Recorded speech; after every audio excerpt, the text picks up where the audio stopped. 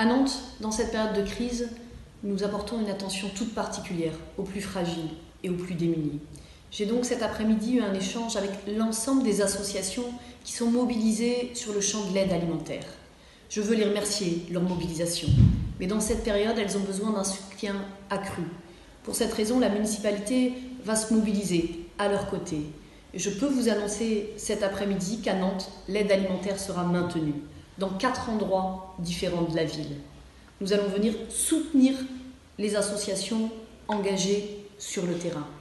En complément de ces lieux de distribution, des colis alimentaires seront proposés par plusieurs associations nantaises. Je voudrais saluer leur engagement, cet esprit nantais qui dit que dans les moments de difficulté, nous sommes capables de nous mobiliser collectivement.